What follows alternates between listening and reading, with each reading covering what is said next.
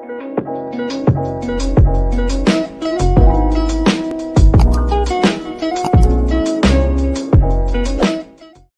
của mày đang bị tụi tao bắt cóc. Tao muốn 3 tỷ. Được. Tao sẽ bán nhà, bán xe, dai chạy đủ 3 tỷ.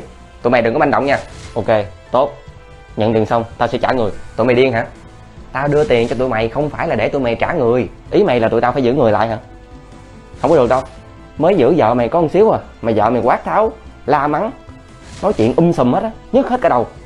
Đã vậy còn giả em tao gãy mũi. Quýnh đại ca tao gãy răng nữa chứ. Đó là chuyện của tụi mày, tao không quan tâm. Thôi được rồi, tao giảm xuống cho mày 2 tỷ đó. Qua đưa vợ về đi. Không, một tỷ. Không, thôi tụi tao không lấy tiền nữa. Qua đưa vợ về mau đi. Không, vậy bây giờ tao đưa mày một tỷ. Qua đưa vợ về đi. Không, 2 tỷ. Không, vậy mày muốn bao nhiêu? 3 tỷ. Được rồi Bây giờ tao sẽ bán nhà, bán xe Gia chạy đủ 3 tỷ. Mày đừng có manh động. Tốt.